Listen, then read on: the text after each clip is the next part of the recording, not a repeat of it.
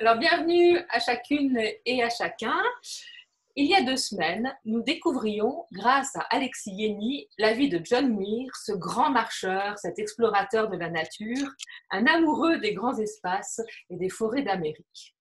Alors aujourd'hui, finalement, nous restons un peu dans le même terme, car nous accueillons un explorateur, un aventurier qui, lui, s'est lancé dans un périple plus intérieur dans un voyage dont on ne revient pas indemne dès lors qu'on le prend au sérieux. Dans son livre Autrement Dieu, Raphaël Buise témoigne de ses déprises, de tout ce qu'il a lâché et de ce qu'il a gagné à se laisser dérouter par ce qu'il lui a été donné de vivre en passant un an dans un monastère bénédictin, le monastère Saint-André de Clairlande en Belgique.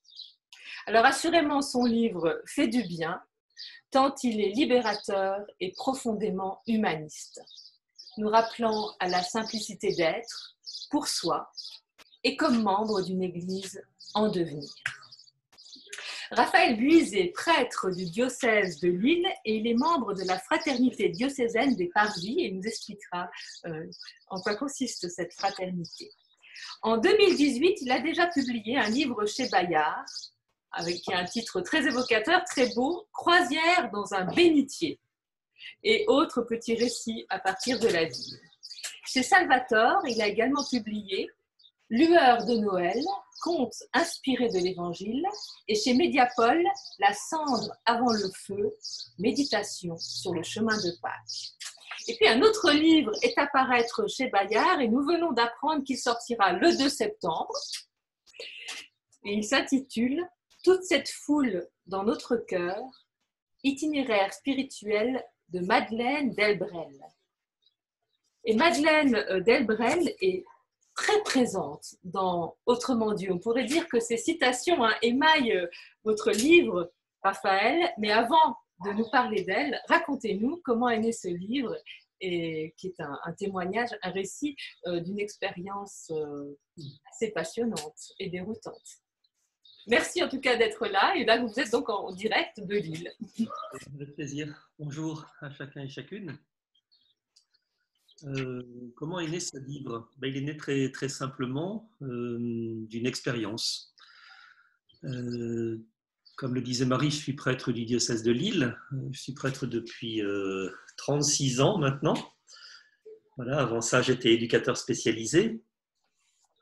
Et puis, j'ai eu des, des, années de ministère très, très pleines, très, très joyeuse aussi. J'ai été pendant un bon moment euh, aumônier de, des étudiants à Lille.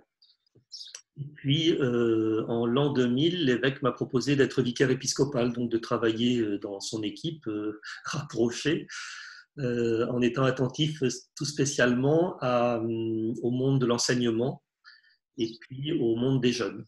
Voilà. Et dans le même temps, j'ai démarré avec quelques amis euh, une petite communauté qui s'appelle la Fraternité diocésaine des Parvis, qui est une communauté de laïcs. On n'est que deux prêtres, on est à peu près 140 dans cette communauté. Euh, adultes. Alors on ne vit pas ensemble, c'est une communauté d'alliance, on pourrait dire ça comme ça, des petites équipes qui se retrouvent et on essaie de vivre dans la trace spirituelle de Madeleine Delbrel. C'est pour ça que Madeleine, c'est c'est la femme de ma vie. Voilà. mais l'évêque le sait, donc il n'y a pas de problème. Euh, j'ai découvert Madeleine Delbrel il y, a, une bonne trentaine d'années, et puis vraiment, c'est une, femme qui, vraiment me semble très, très, très contemporaine et elle marque beaucoup mon histoire.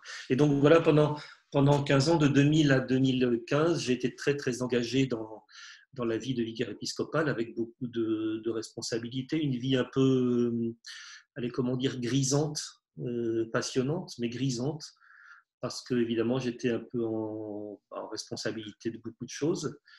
Et, je me suis passionné pour ça et je me suis vraiment c'était un, vrai bonheur. J'ai trouvé beaucoup de joie à accompagner des communautés et tout ça des groupes aider des gens à trouver leur chemin et, à vivre leur responsabilité missionnaire. Et puis en même temps euh, je me suis dit au bout de, de, de 15 ans que je pouvais pas euh, faire carrière comme ça, il fallait que, l'essentiel de ma vie n'était pas, était pas dans ce genre de responsabilité.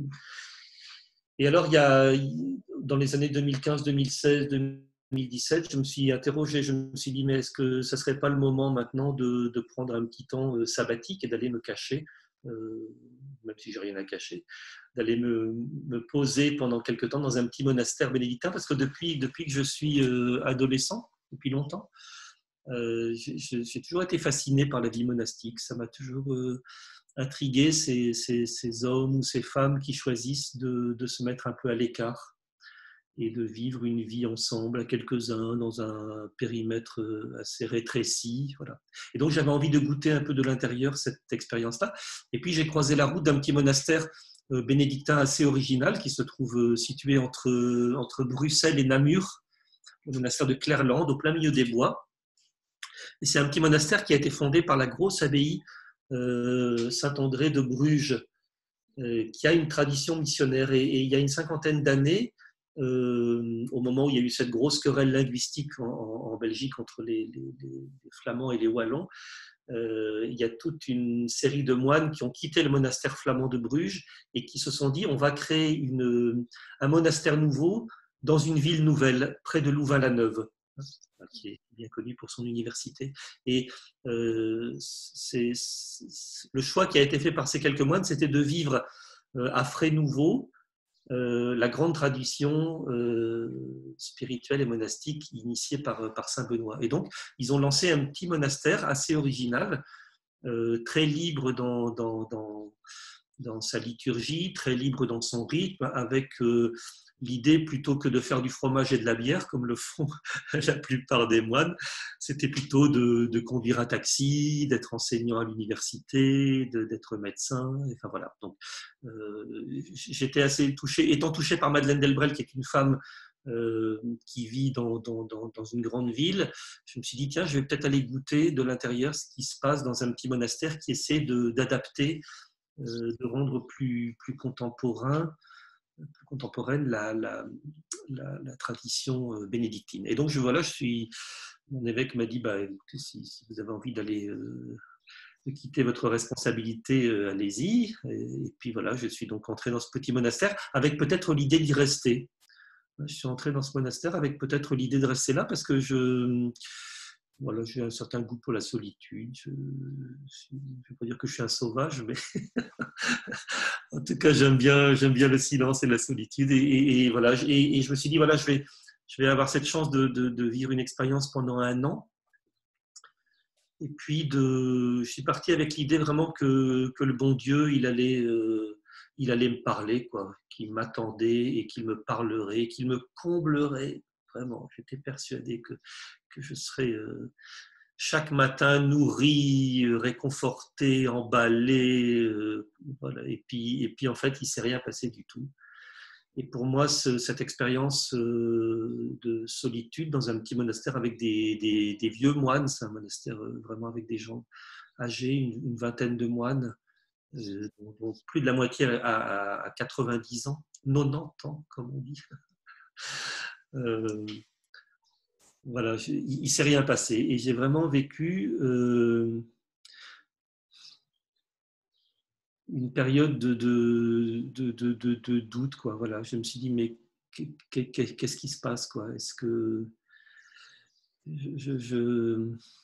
j'ai passé, des, heures dans la liturgie avec les frères et puis dans la solitude de la prière, j'ai passé du temps et du temps et du temps à dire à Dieu, mais, où es-tu Où es-tu Où es-tu? Et j'attendais une réponse, j'entendais que le chant des, oiseaux et je voyais que les écureuils dans les arbres. Et, j'ai entendu un peu comme, comme en, écho, et ça s'est un peu imposé à moi, un, peu en écho à cette question, mais euh, où es-tu? L'écho me répondait, mais... Euh, où es-tu toi-même, quoi? Qui es-tu toi-même?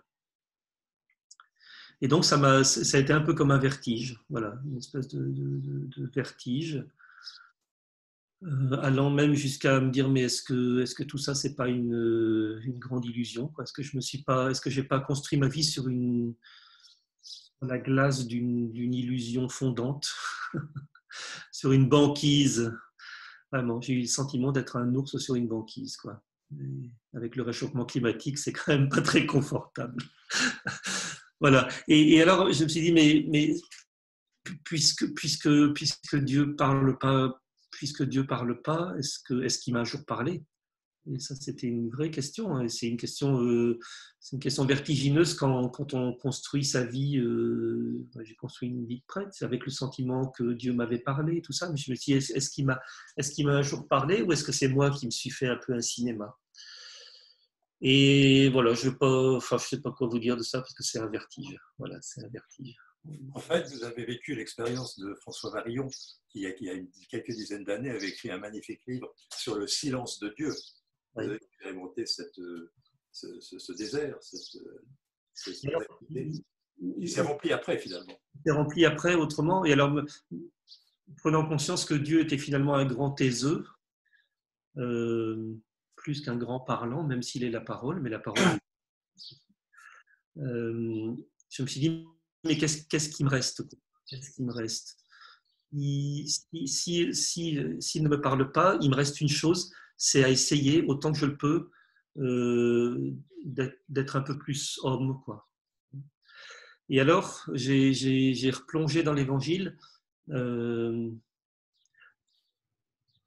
je suis bouleversé par la figure de Jésus. Ça, depuis, que je suis tout jeune, depuis, que j'ai 15 ans, je suis, euh, j'ai toujours été touché profondément par, l'humanité de Jésus. Et, et à Clairland, euh, j'ai redécouvert un peu cette, euh, cette humanité-là, profonde.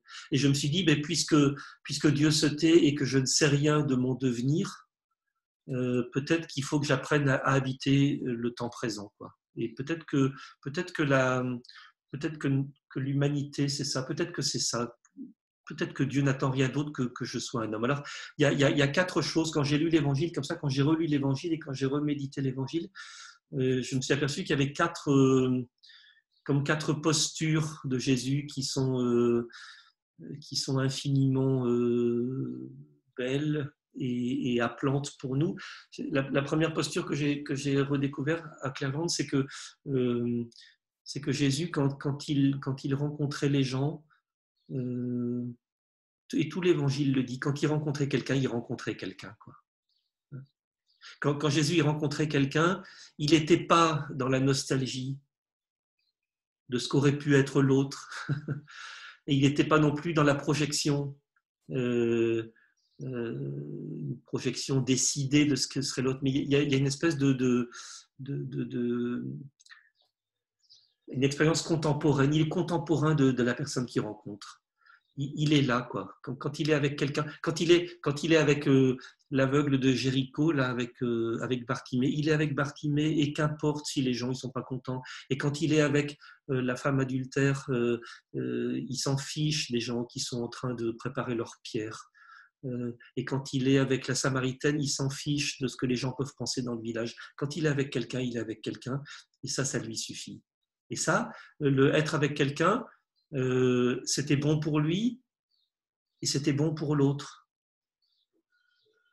Voilà. Et puis quand il était euh, dans, sa prière, dans, le secret de la prière euh, avec son père, ben, il était avec son père. Il était, même s'il portait en lui la vie, des hommes et des femmes qui, qui lui tenaient à cœur, il, était, il, était, il était devant le père. Quoi. Il portait devant le père simplement les gens avec qui il était.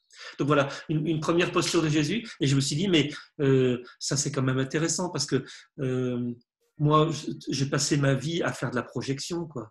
Les plans quinquennaux, oh, les plans quinquennaux, je peux vous en faire. Hein. Les plans quinquennaux, des plans pastoraux quinquennaux, mon Dieu, mon Dieu.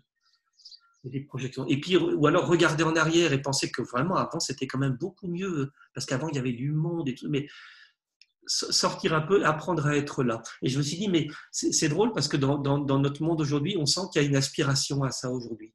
Hein. Euh, moi, je suis très touché par le nombre, et ça, ça, me, ça, me, ça, me, ça, me, bouleverse, ça, par le nombre d'hommes de, de, et de femmes qui ont construit leur vie sur le Christ, dans l'Église, et qui se, qui se tirent, qui s'en vont, qui laissent l'Église parce qu'ils ne trouvent plus la nourriture dont ils ont besoin et qui vont euh, chercher dans des groupes de, de, de, méditation en pleine conscience. Et je me dis, mais quelle, quelle, quelle quête spirituelle et pourquoi notre Église, elle n'est pas capable d'entendre ça comme une bonne nouvelle? Et comment se fait-il que si souvent dans notre Église, on se méfie de ça, alors qu'il n'y a pas à se méfier? C'est un signe des temps, ça. Euh, une espèce de, sentiment aujourd'hui que, que beaucoup d'hommes et de femmes partagent, qu'il faut réapprendre à être là, réapprendre qu'on a deux pieds et qu'il faut les poser et qu'on a un nez et qu'on peut respirer, et qu'on a des oreilles et qu'on peut écouter, et qu'on a une bouche et qu'on peut parler, mais il faut mesurer nos propos. Une espèce de présence à soi, un être là, et je pense que du côté de l'Évangile, il y a une vraie, euh, une vraie école de, de, présence à ça. Alors ça, c'est la première posture qui m'a beaucoup touché, et je me dis, mais tiens, c'est marrant ça, parce que les moines, finalement, c'est ça qu'ils cherchent. Le, moine qui n'est pas trop affairé par ses affaires, là, en fait, qu'est-ce qu'il cherche? Il cherche une espèce d'unité intérieure, il cherche à être là, hein, à se recueillir euh, en Dieu. Donc ça, c'est la première posture. Et puis, il y a, une deuxième posture que j'ai redécouvert un peu dans l'Évangile, c'est euh, cette, euh, cette obéissance constante de Jésus alors, c'est vrai que le mot obéissance, euh, c'est un mot qui passe pas trop bien aujourd'hui parce que obéissance, ça fait un peu quelque chose de, servile et quelque chose de. il, y a, celui qui est au-dessus celui qui est en dessous, mais l'obéissance de Jésus, c'est pas ça. Quand, Jésus il obéit, euh, il, est à l'écoute, il accorde sa vie à ce qu'il entend et à ce qu'il voit, et, l'obéissance, la vraie obéissance, elle est là. Et, alors chez Jésus, ben, il, y a, plusieurs. Euh, plusieurs obéissances. Il y a, cette espèce d'obéissance à la, à, la, à la parole. À la, il est comme, comme, comme, comme attaché à sa source. Quoi. Hein. Il, est, il, est, il, écoute euh, au cœur ce que, ce que le Père lui dit et, il va prolonger ça. Donc il est dans une fidélité à, ce que le Père lui dit. Euh, il est dans une grande fidélité, dans une grande écoute aussi de la tradition de son peuple. Il écoute euh, on vous a dit, on vous a dit, mais si s'il dit ça, c'est qu'il a, il a écouté ça. On vous a dit, moi je vous dis maintenant, une espèce de, de, de de, fidélité à la tradition du peuple d'Israël. Et puis il écoute la vie des gens, et ça c'est magnifique aussi. Jésus, il, obéit, il obéit aux gens qu'il rencontre. Il, il, rencontre des gens qui ont faim, il entend la faim des gens. Et alors, il voit tous ces gens, enfin, il y a ce magnifique chapitre de, la multiplication des pains, là, dans, où il y a tous ces gens qui sont venus l'écouter, et Jésus, il leur a parlé, mais en, leur parlant, il a entendu, et il a entendu leur ventre qui grouillait. il entend ça, et il va obéir à cette, cette, cette, cette, cette faim euh, élémentaire, il va leur donner de quoi manger, et puis quand ils auront mangé, il va entendre aussi une faim plus essentielle il va leur parler du pain de vie, et puis les gens, finalement, ils n'écouteront pas, ils s'en iront. Mais euh, oui, quand, quand, quand il rencontre quelqu'un, il écoute d'abord l'autre, il y a une, obéissance à l'autre. Et puis, euh, on dirait qu'il y a une espèce de fidélité à lui-même aussi. Et ça, ça va se, décliner euh, de façon étonnante dans, dans, ce chemin de montée à Jérusalem. Quoi. Il ne va pas, il va pas décoller de ce qu'il est. Quoi. il ne va pas se dérober il va aller jusqu'au bout de cette parole forte qui est en lui, obéissance magnifique. Alors je me suis dit, mais est-ce que, est moi j'ai promis obéissance à mon évêque, mon Dieu? Euh, J'enlève mon Dieu, hein, j'ai promis obéissance à mon évêque. bon, euh, ça veut dire quoi l'obéissance? Ça veut dire être à plat ventre? Ça veut dire être à genoux? Ça veut dire euh, non L'obéissance, elle, ne m'empêche pas d'être un homme, quoi et, la vraie obéissance. Et je pense que, que dans, dans l'Église, on se doit obéissance les uns aux autres. Il n'y a pas d'un côté les, les, obéissants et de l'autre côté les, ceux qui, qui, conduisent. Non, il y a, nous, nous devons obéissance les uns aux autres. Et ça, j'ai appris ça chez Madeleine Delval aussi. Je vous en parlerai peut-être un petit peu après. Et donc voilà, ça m'a réinterrogé un peu sur ma manière d'écouter, d'accueillir la vie, de, plutôt que de, que de mettre en place des, des, des, des, choses apprises et tenir, vous savez, les dogmes, les tchouks, les, les morales, me tenir euh, un peu comme Jésus, d'abord à l'écoute des gens. Ça, c'est, une, une, seconde posture que j'ai appris de lui et qui, qui, je pense, est humanisante à la fois pour celui qui écoute et pour celui qui est écouté aussi. Je trouve qu'il y a quelque chose de l'humanité qui se, joue dans cette obéissance-là. Et puis une troisième euh, posture de Jésus qui m'est, qui euh, s'est un peu, un peu éclairé pour moi, c'est euh, tout ce qui touche la simplicité. Alors j'aime pas le mot pauvreté parce que c'est, ambigu ce mot-là et il faut faire attention quand on parle de la pauvreté, il faut vraiment faire attention parce qu'il il il y a des pauvretés revendiquées hein, qui sont des richesses absolument pas justes et pas belles, quoi, qui sont presque. Il y a, des pauvretés revendiquées qui sont presque vulgaires. Voilà, je pense que vraiment la, pauvreté, il faut la combattre. Il faut, il faut combattre la pauvreté. Il faut, se battre contre ça. Il faut se battre contre la misère. Et en même temps, euh, je trouve qu'il y, y, a quelque chose qui est très beau. C'est moi j'entends dans l'Évangile comme une invitation à passer de la pauvreté à la simplicité de vie. Quoi. Et chez Jésus, on sent qu'il y a quelque chose de cet ordre-là quand il y a ce jeune homme qui vient le voir. Et ce garçon, il a fait tout ce qu'il fallait, quoi. Mais il sent qu'il y a quelque chose qui manque à sa vie. Bon, maître, dis-moi ce que je dois faire pour avoir la vie éternelle. Et, Jésus lui dit, mais qu'est-ce que tu as fait, mon gaillard? Et, il dit, ben, j'ai tout bien fait, quoi. J'ai fait, tout, j'ai fait tous les qu'est-ce qu'il faut, comme on dit par chez nous. J'ai fait tous les qu'est-ce qu'il faut. Et Jésus dit, mais ça, c'est bien, c'est bien ça, mais il y a une chose qui te manque, tant encore trop, allez, ouvre, simplifie ton existence. Quoi. Et alors, ce jeune homme-là, il, il, s'en va tout triste, dit l'Évangile, mais quelquefois on pense que, qu'il est reparti, mais moi je ne pense pas qu'il est reparti. Euh, je pense qu'il s'est rangé juste derrière, il, il s'est remis dans le rang. Quoi. Et puis Jésus, il a vu qu'il était encore dans le rang. Et juste après, il raconte cette magnifique parabole de, l'ouvrier de la onzième heure. Et moi, je suis sûr que c'est pour ce garçon qu'il a raconté cette histoire. C'est pas pour les autres, c'est pour ce garçon. Parce qu'il savait que c'était pas encore l'heure pour lui de simplifier son existence, mais il sentait qu'il y avait comme, un désir de vie, d'une vie plus juste, d'une vie plus humaine. Et il a dit, mon gars, c'est, si, si c'est pas l'heure, viens, quand ce sera ton heure, quoi, et tu auras un bon salaire. Tu auras un bon salaire comme les autres. Tu auras de la vie comme les autres. Et donc voilà, et ça, ça a interrogé un peu mon, ma, vie sur ce que c'est que la, la, la, pauvreté, la simplicité. Et là, il est arrivé un truc un peu, un peu étrange, c'est qu'avant d'entrer au monastère, je m'étais dit, parce que ça se fait, hein, je m'étais dit, je vais simplifier ma vie, je vais, je vais, je vais donner ce que j'ai, j'ai donné tous mes livres. Les seuls livres qui restent, ils sont derrière moi, là, pour l'instant. Bon, j'ai donné tous mes livres, j'ai donné mes affaires aux uns et aux autres. Bon, et puis j'ai gardé quelques petites choses. Et j'avais le sentiment vraiment d'être un homme euh, pauvre, quoi. J'avais réussi à être pauvre, c'est quand même épouvantable hein, quand on y pense. Et puis, euh, quand je suis rentré du monastère, puisque j'ai décidé de ne pas rester là-bas, euh, le peu que j'avais gardé, quelqu'un l'avait jeté. Je ne sais, pas comment ça s'est passé. Et là, j'ai fait une expérience vraiment de ce que c'était que la pauvreté et je pense que la, vraie pauvreté, on ne la choisit pas. Quoi. Elle, nous tombe dessus à un moment ou à un autre, pas toujours, mais quelquefois. Voilà. Mais en tout cas, ce n'est pas d'abord ça qui est important. Ce qui est important, c'est la simplicité. Comment, comment je peux simplifier ma vie? Et j'ai l'impression aussi que notre société, elle est en train de se poser cette question-là. Quoi. Euh, alors, il y a eu ce, ce, bazar du Covid-19, là, bon, et puis ce confinement, et puis, alors maintenant, on parle du monde d'après.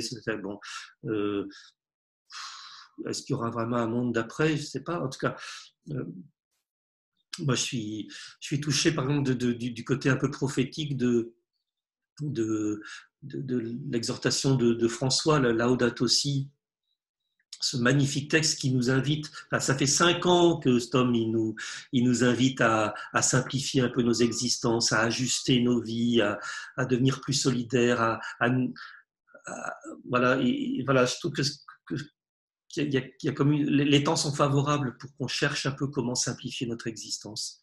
Euh, on ne peut pas continuer comme ça parce qu'on fait violence aux, malheureux, quoi. Euh, et donc il faut qu'on cherche, qu'on cherche ensemble.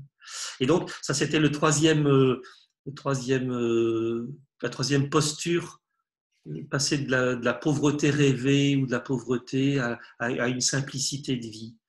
Euh, je pense qu'il y a quelque chose de ce côté-là qui est, qui est, important. Et puis la quatrième posture, alors Madame Delbrel, elle parle beaucoup de la simplicité, de la pauvreté, c'est des, des, mots qui reviennent. L'humilité aussi, l'humilité. Devenir des petites gens. Madeleine, elle parle beaucoup ça, de devenir des petites gens.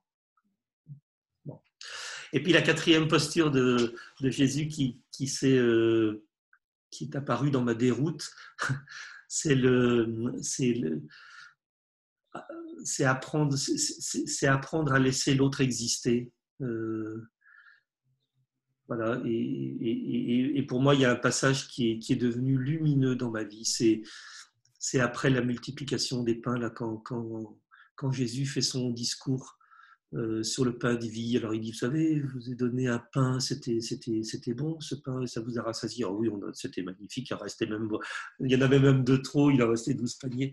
Et Jésus dit, maintenant je vais vous parler d'un autre pain qui est, qui est encore plus important, c'est le, le pain de vie. Et ceux qui mangent de ce pain-là, ils ne vont pas mourir. Alors ils, disent, bah, donne-nous de ce pain-là. Et il dit, je suis le pain vivant. Et à ce moment-là, tout le monde s'en va.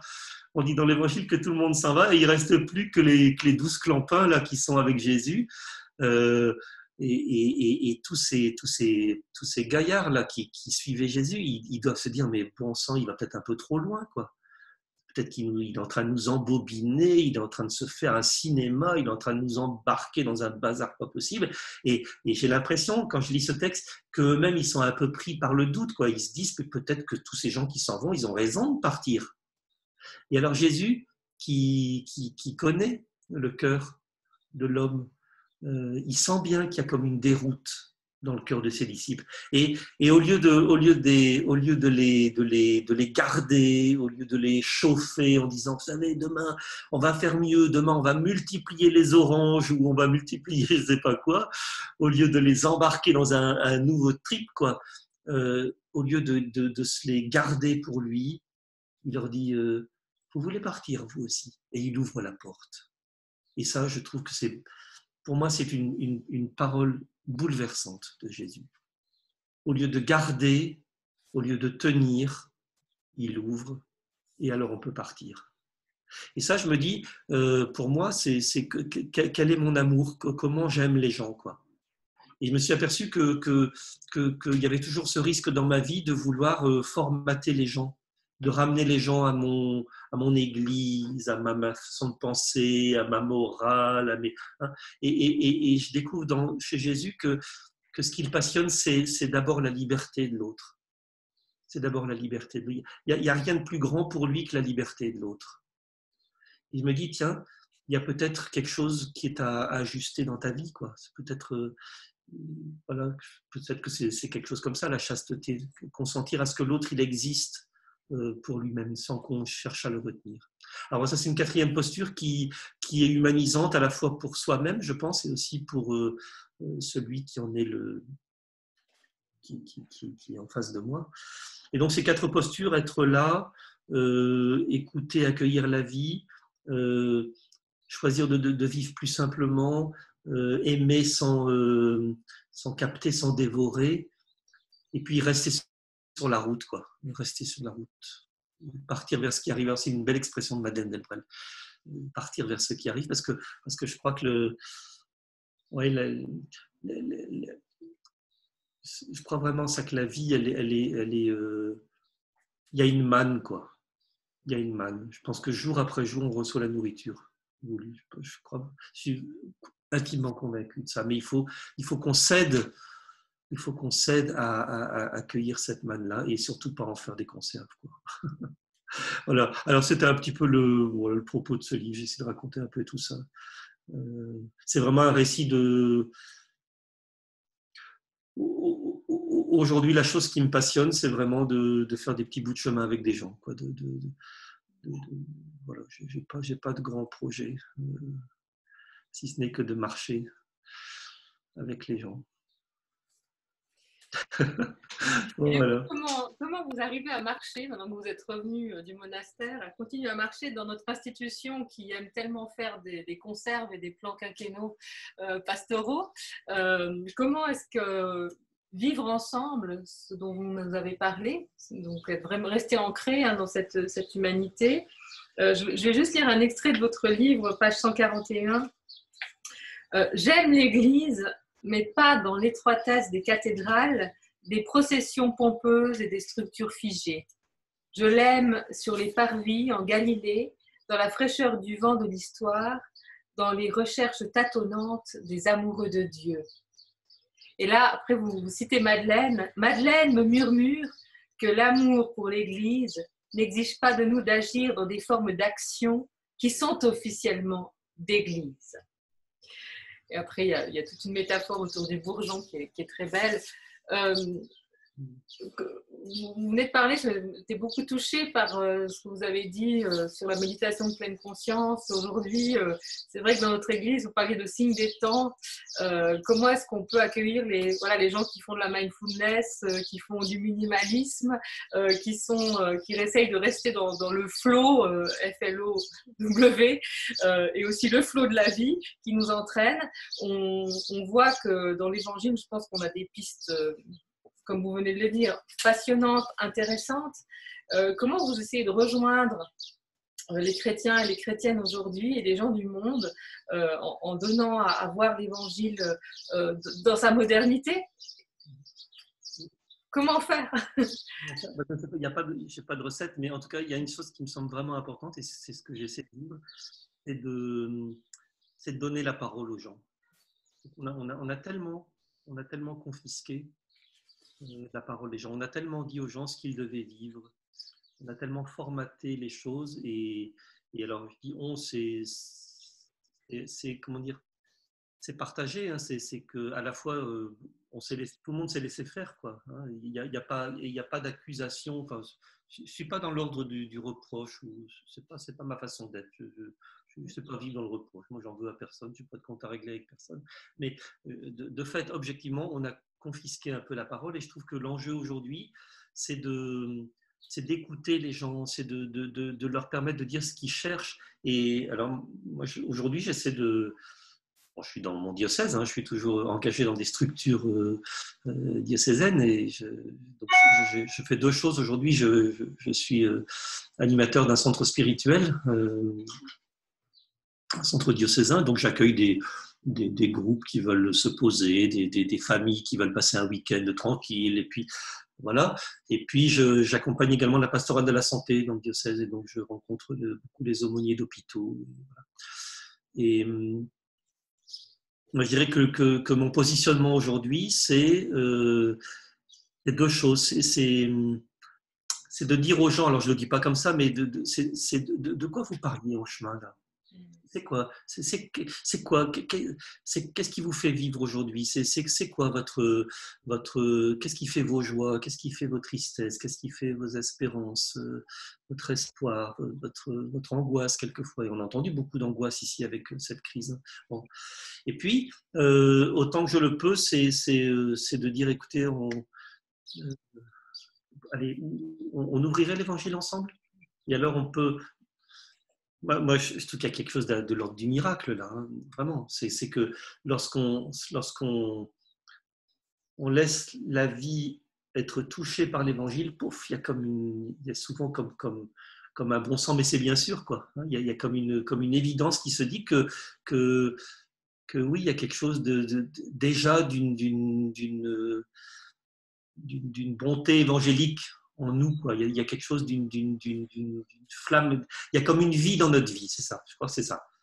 Il y, a, comme une vie qui se cache dans notre vie. Ce qui m'a beaucoup touché dans votre livre, c'est que de votre expérience, vous nous donnez un chemin, une manière de. Et c'est écrit avec beaucoup de, fluidité, euh, très agréable à lire, très bien écrit. Et, et à la fin, vous avez un anaphore rien d'autre que, rien d'autre que, en partant de, un peu, qui me semble un peu le fil conducteur de votre, de votre spiritualité, vous citez le prophète Michée, et qui dit, et je trouve que c'est, je vais, le citer, le passage que vous avez donné, euh, dit, ce que le Seigneur réclame de toi, rien d'autre que pratiquer la justice, aimer avec tendresse, marcher humblement avec ton Dieu. Ça, c'est bien la tonalité de votre livre là. Oui, pas bien quoi vous dire d'autre. Rien d'autre que. Rien d'autre que. Euh, Et puis aussi Manou. Manou qui revient. Votre question toujours. Hein, qu'est-ce que cela? L'interrogation, pas d'affirmation péremptoire. De... J'ai l'impression que que, que, que Dieu n'attend pas qu'on soit des héros. Euh, et moi, moi j'ai un peu construit mes, mes, premières années de ministère un peu comme, comme, comme un héros. J'étais, j'étais bon. Hein. J'étais bon. Hein. Non, non, vraiment, je me débrouillais bien. Quoi. Je, je, savais former des équipes, je savais. Ta, ta, ta. Mais en fait, qu'est-ce qu'on fait là? C'est un peu soi-même concert. Quoi.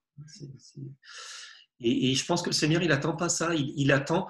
Euh, c'est Madeleine Delbrel qui dit, qui dit dans, une de ses lettres à ses, à ses amis, à ses copines, là, elle dit euh, Le Seigneur nous ne nous demande qu'une seule chose, c'est de nous apprendre à être bons comme des enfants du bon Dieu. Simplement nous apprendre à être bons comme des enfants du bon Dieu. À être des petites gens. Alors, Madeleine, elle est, très marquée aussi par la spiritualité de Charles de Foucault. Euh, être un tendre frère. Euh, vivre pas, pas caché, c'est pas, pas caché, mais c'est vivre euh, sans, sans, être au premier plan. Quoi. Voilà. Et, et ça, je pense qu'il y a quelque chose. Je pense que notre, le monde, il attend, il attend des frères. Quoi. Je pense que le monde attend des frères. C'est Jacques Brel, hein, qui, est, qui est pour moi un père de l'Église aussi. Jacques Brel qui, qui, qui dit euh, l'importance de frérer, quoi.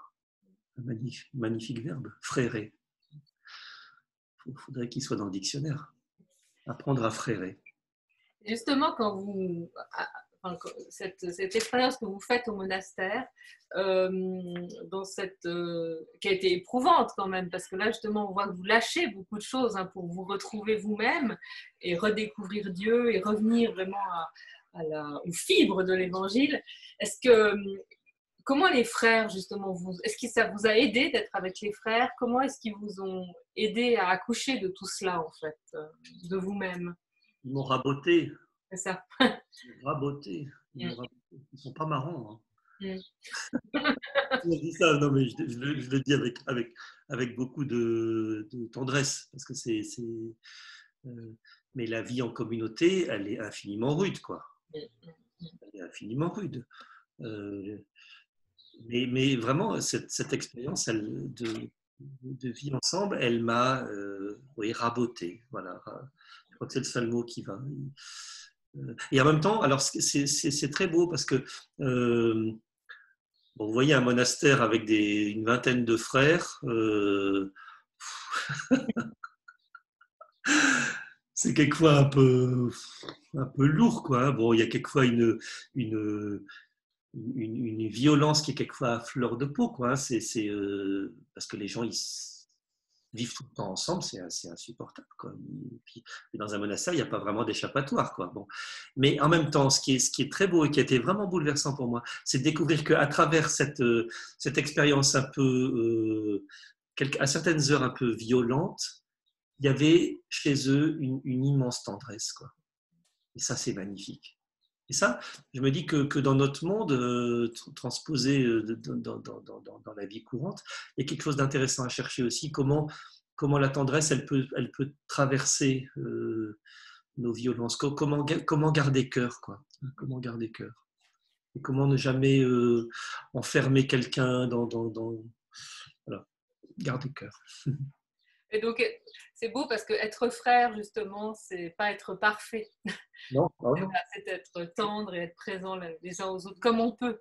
Euh, ouais. Je vous propose peut-être maintenant de donner la parole à, à, nos, à nos, participants qui vont vous permettre de, de poser leurs questions. Donc, euh, pour poser la question, c'est tout simple. Vous appuyez sur la petite euh, icône en demandant de lever la main. Ouais. Ou alors vous faites comme ça. Oui, mais on ne vous voit pas tous. Alors c'est ça. Voilà. On va se J'ai réactivé euh, les micros de, de, la plupart. Si jamais, vérifiez que votre audio est bien, euh, est bien désactivé pour prendre la parole. Est-ce que quelqu'un euh, veut prendre la parole? Dominique, juste, et Marie, juste pour les participants, la petite main se trouve dans la petite icône participant tout en haut, avant la liste des participants, il y a main levée. Vous pouvez voilà, le faire. Merci, Catherine. Il y a Céline qui voulait poser une question. Est-ce que j'ai bien vu Non, d'accord.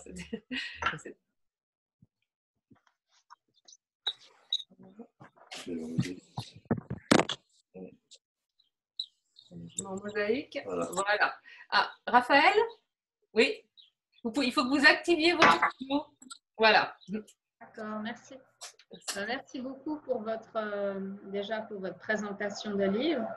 Moi, il y a une chose qui, qui me revient et qui me frappe, c'est qu'à un moment, euh, comment dire ça, vous avez, vous avez vécu une, une vie avant cette expérience, une vie d'église, en tant que vicaire, communier, enfin, donc avec des tas de projets, mais en relation avec l'Église et, et, ce charisme qui vous a été donné.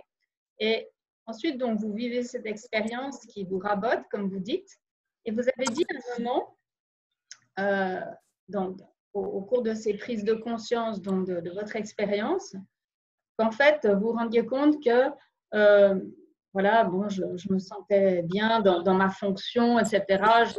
J'étais bon, donc mais quelque part, je me servais moi-même. Et ça, j'ai trouvé très, très fort dans votre témoignage. Comment dire ça? Euh, Pour moi, c'est comme si... Euh, pourtant, vous êtes dans un milieu ecclésial dans lequel on ne s'attendrait peut-être pas à ce genre de, réflexion et auquel on s'attendrait peut-être plutôt dans, dans un monde plus, euh, plus, laïque euh, sécularisé. On travaille peut-être pour, pour une réussite, pour je veux dire, sa créativité, pour des projets, pour, être, faire des projets solidaires avec des gens, sans forcément connaître toujours toutes les implications personnelles qu'on y met et, et que l'on cache sous d'autres motifs. Et là, en fait, vous nous présentez ça à travers votre, votre vie, je veux dire, qui est un, parcours dans lequel je ne me serais pas du tout attendue à ce genre de réflexion. Et ça, je trouve, c'est un témoignage très fort pour, euh, pour les personnes qui sont justement en plus pas dans un milieu ecclésial, d'autant plus euh, de s'interroger justement sur ce, euh, sur ce problème de, pourquoi on, vit tout en étant convaincu en fait des motivations de nos engagements et de nos implications. je ne sais pas si j'arrive à, me faire comprendre, mais voilà, c'est ce, parallèle que j'ai trouvé très, très intéressant. En, même temps, ne soupçonne pas euh, les gens de vouloir euh, un pouvoir ou de vouloir, euh, de vouloir leur propre gloire. Je ne soupçonne vraiment pas ça, mais je, je dis simplement que euh, dans l'exercice de la mission, il peut y avoir à un certain moment, euh, et, ce n'est pas, pas pour nous euh, nouveau, hein, c'est déjà dans l'Évangile, on sent que les disciples, quand ils rentrent, quand ils rentrent de mission, là, après avoir été envoyés par Jésus, ils rentrent en disant Seigneur, tu sais, ça marche, on réussit, on est formidable. Et Jésus, Jésus, Jésus leur dit écoutez les, écoutez les garçons, calmez-vous. N'oubliez pas que les c'est pas, c'est pas que les démons vous. L'essentiel, c'est pas que, que, que, les démons vous soient soumis, c'est que euh, vos noms sont écrits dans le cœur de Dieu, quoi. Mm-hmm. c'est un peu comme ça que je.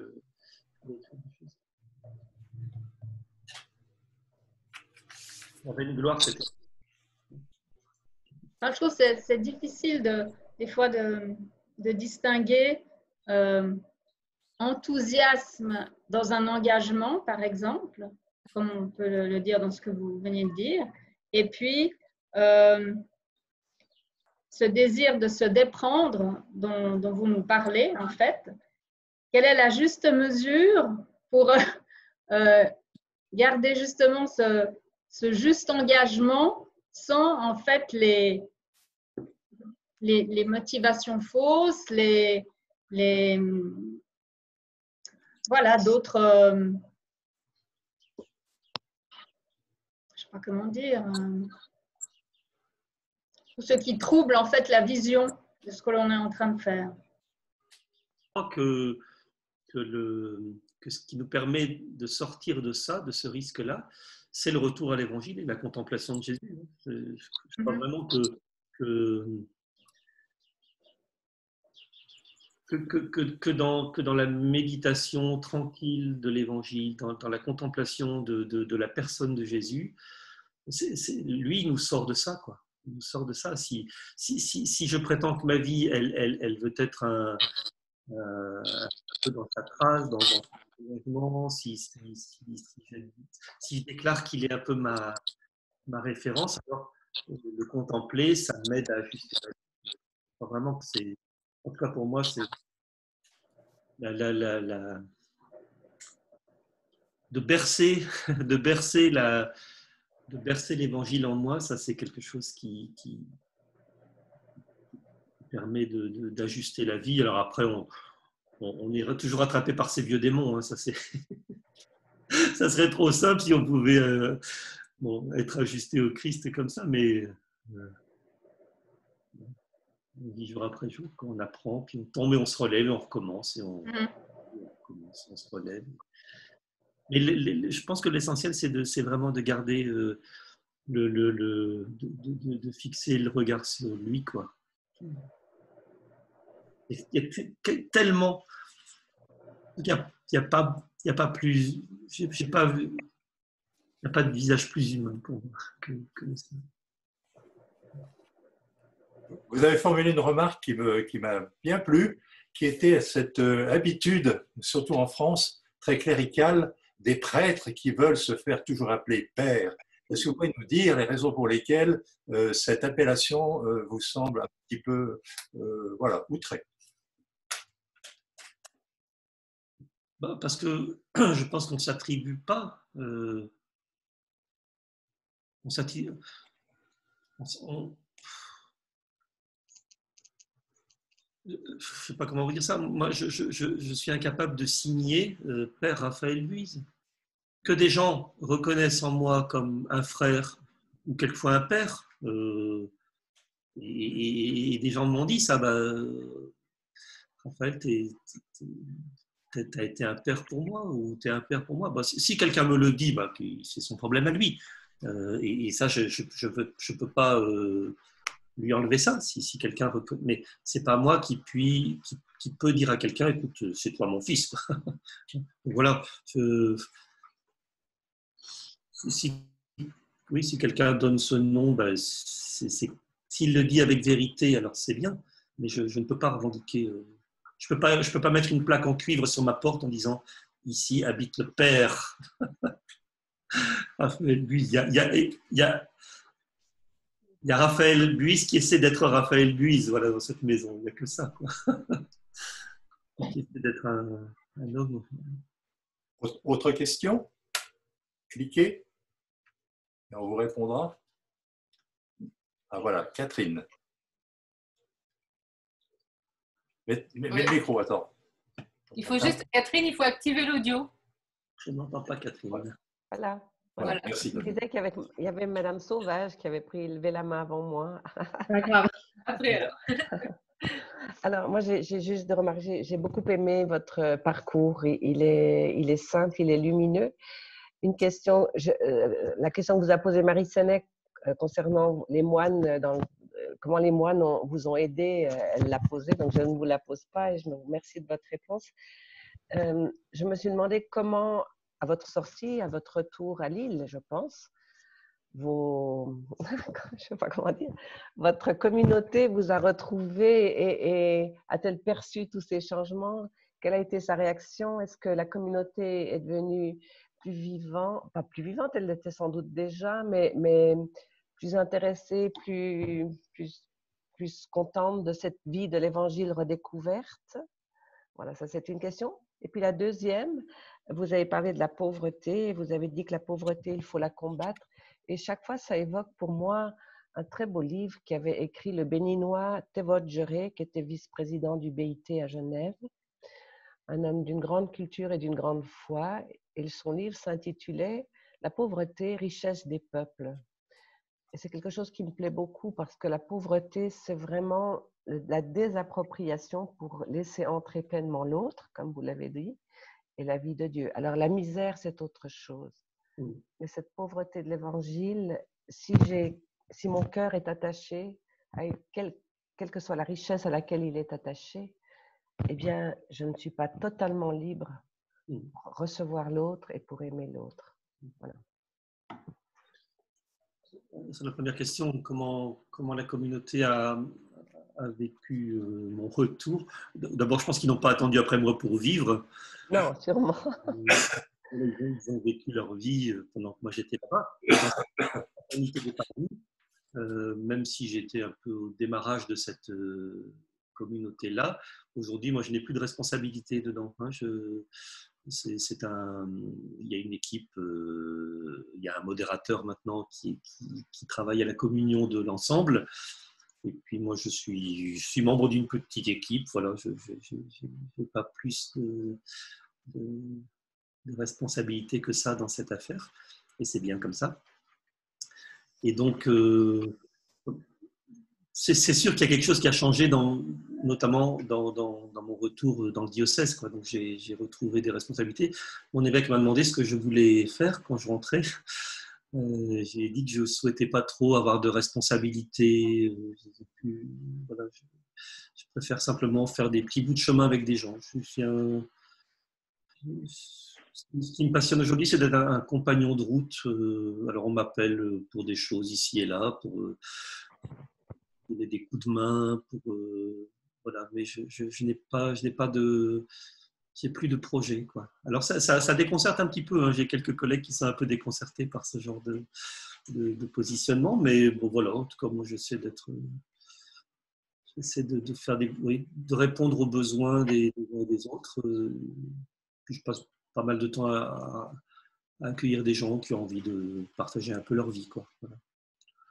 Et sur cette route, justement, des, chercheurs de Dieu, comme vous l'avez mentionné, hein, les nouveaux aventuriers de Dieu, euh, où nous envoie aussi le pape François, ce sont aussi des périphéries, les périphéries de l'Église. Donc, euh, c'est peut-être aussi quelque chose qui euh, devient plus proche pour les gens qui vous côtoient, parce qu'ils n'avaient peut-être aussi une peur par rapport à ces nouvelles formes. Je ne peux pas vous dire parce que je ne sais pas. je ne peux pas parler à leur place, mais bon, et sur la question de la pauvreté, parce que c'était aussi la question de la pauvreté, mais vous en parlez très bien dans votre, dans votre livre de, l'insolence. Peut-être on peut revenir sur ce terme. Est-ce que vous y voyez quelque chose de, positif quand même? Est-ce qu'on, enfin, euh, juste pour rebondir sur la question de cette pauvreté de l'Évangile. Euh. Moi, je reste quand même assez mal à l'aise avec ce terme de pauvreté. Je mm. reste mal à l'aise. Je, Il est trop connoté. Hein. Mm. Très connoté, oui. Mm préfère vraiment parler de. Il y, a, des peuples qui vivent simplement, qui vivent avec peu de choses. Mhm. Euh, un cœur très, beaucoup plus ouvert et beaucoup plus hospitalier que, que, que, ceux qui, ont, qui cumulent la richesse ou qui mettent leur cœur dans leur richesse. Quoi. Il, y a, il, y a, cette parole du psaume hein, si, si, qui, est, qui, est, très belle, qui me parle bien, c'est euh, si, si vous si vous accumulez des richesses, n'y mettez pas votre cœur. Euh, il y a quelque chose d'intéressant dans cette. Euh, voilà. Même, même, si, même si on a beaucoup, et quelquefois on a beaucoup, euh, voilà, mais ce, beaucoup, on peut, on peut essayer de vivre plus simplement. Quoi. Et, et, et, et, ce que j'ai, ne pas en faire ma chose, mais Madeleine Delbrel, elle, était très questionnée par cette question de la pauvreté hein, et de, l'hospitalité. Elle, disait, euh, l'hospitalité, c'est que euh, les gens soient, chez eux, chez nous. L'hospitalité, c'est que les autres soient chez eux, chez nous. Eh ben, je crois qu'il y a quelque chose comme ça. Euh, quelle que soit notre vie, on cherche toujours à simplifier notre vie qu'on se demande toujours de, quoi je peux me passer, quoi. Voilà, que, ça reste une question constante de, de, quoi, je, de, quoi, je, de quoi je peux me séparer, de, quoi. Et, mais ce que j'ai, ne pas en faire ma chose, c'est. Euh, elle dit aussi, Madeleine, dans, dans, un de ses écrits, elle était euh, assistante sociale, elle, écrivait à, à, d'autres assistantes sociales, elle disait, mais préparez votre maison, quoi prépare ta maison pour qu'elle devienne la maison d'autres. Et tout cas quelque chose d'intéressant à chercher. Une dernière question. Céline avait une question. Oui, vous m'entendez? Oui, tout à fait. Ah, J'avais un doute. Euh, ça, fait juste bien la transition, je pense. Je m'interrogeais, euh, j'ai découvert euh, Madeleine Delbrel il y a à peine une semaine ou deux par une amie et je trouvais un petit peu dommage qu'on n'en parle pas plus.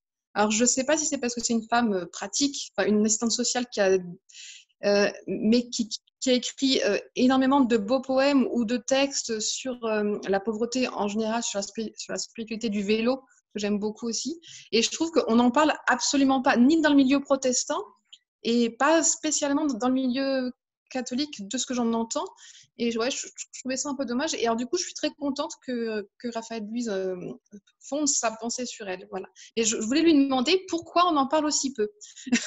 je ne sais pas si c'est une réponse, hein, mais. Si, je crois qu'il y a une réponse, c'est que Madeleine, elle est décédée en 1964. Euh, en, gros, l'expérience de Madeleine, elle est simple. Hein. Euh, Madeleine, elle est née en 1904, elle est morte en 64. Euh, quand elle avait 17 ans, elle était euh, athée assez, assez violemment.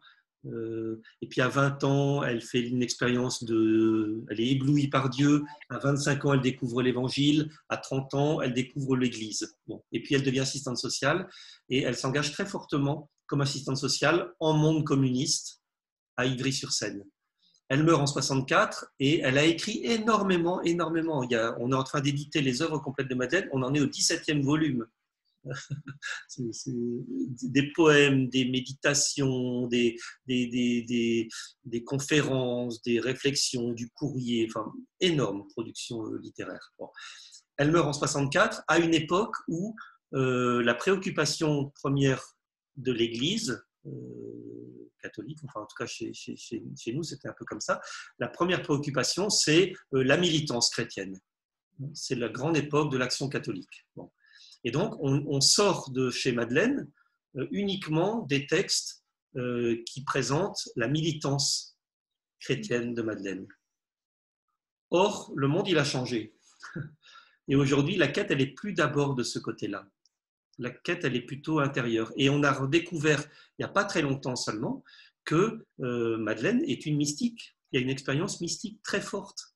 Et, je pense qu'on va parler plus de Madeleine dans les temps qui viennent parce qu'on est en train de redécouvrir un peu cette, cette expérience mystique, mais qui est en même temps euh, assortie d'une expérience euh, profondément humaine et incarnée dans, un coude à coude avec des non-croyants. Et ça, à mon avis, c'est la grande euh, bonne nouvelle de Madeleine, c'est qu'elle va nous apprendre qu'on peut vivre l'évangile, que l'évangile n'exige pas qu'on soit séparé du monde, mais que c'est au cœur du monde qu'on peut, en coude à coude avec des non-croyants, travailler à l'avènement d'un monde nouveau, d'un monde plus fraternel, d'un monde plus juste, et que euh, peut-être que notre présence, euh, elle va pas être de, il s'agira pas d'être là pour parler du bon Dieu, il s'agira d'être au milieu des gens pour être la présence du Christ. Il y a quelque chose d'infiniment sacramentel dans l'expérience spirituelle de Madeleine, et ça, c'est une sacrément bonne nouvelle pour aujourd'hui. En tout cas, bah, merci de nous l'avoir euh, fait découvrir. Et puis, donc, je vous rappelle que le 2 septembre sort votre livre sur la femme de votre vie, comme vous l'appelez. Voilà. Et euh, bien, comptez sur nous pour faire un peu de publicité euh, et, et, puis la lire aussi. J'espère que voilà, ça vous a donné envie de lire Raphaël Buis et aussi Madeleine Delbrel. Alors, un grand merci, Raphaël, pour votre présence, pour tout ce que vous avez partagé avec nous de très inspirant. Et je pense que pour entrer dans l'été, ça nous donne des, beaux thèmes à laisser euh, euh, décanter en nous et ça va nous encourager à faire notre ménage d'été au propre et au figuré. Donc vraiment, merci beaucoup. Merci pour votre présence, à chacune et à chacun aussi. Je vous rappelle notre prochain rendez-vous, déjà fixé, et il sera toujours sur Zoom. Hein. Donc euh, nous avons décidé avec la librairie Payot pour vous protéger les uns les autres, parce que les gestes barrières, on a l'impression que peu de personnes font encore attention à, la, bonne distanciation et à porter un masque. Donc, on continue sur Zoom jusqu'à la fin de l'année. Et on se retrouvera le mardi 6 octobre à 17h30 avec Michel Maximéguer, que vous connaissez certainement, euh, qui est donc euh, la personne qui m'emporte le souci de l'éco-spiritualité euh, en, Suisse et qui nous revient avec un livre qui, il n'y a pas encore de titre, mais on vous le donnera bientôt.